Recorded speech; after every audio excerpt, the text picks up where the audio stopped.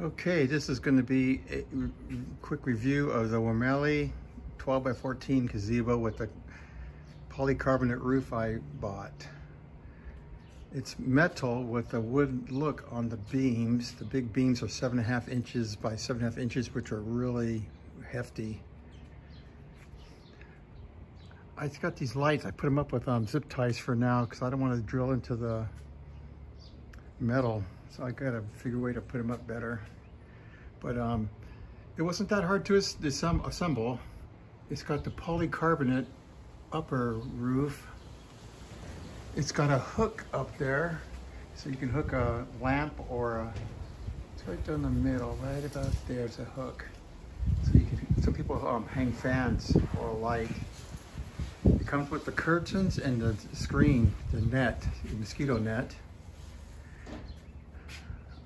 I went to Harbor Freight today to buy these zip ties and they only had white. So I had to order some on Amazon this morning to change them to black. looks terrible.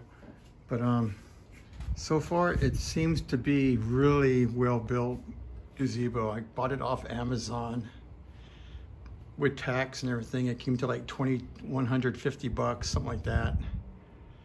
But me and my grandson built it and he's 12 years old and um, wasn't that difficult. But yeah, it's pretty nice. Um, that upper roof lets a lot of the hot air out. Didn't need any special tools or anything to build it. The roof went on a lot easier than I thought it would. I thought it was gonna be really difficult. We just put the panels up there, um, bolt them in on the couple bolts and on the bottom, and it just secure. But yeah, the polycarbonate roof, it's nice. I didn't even know it had it when I ordered it. I didn't realize until after it was being shipped that it had that polycarbonate roof. But uh, that's that's all right. It didn't bother me. I like it now. Let's makes light come in. But yeah, um, I'm really happy with that. I'm really happy I decided on the metal one instead of the wood.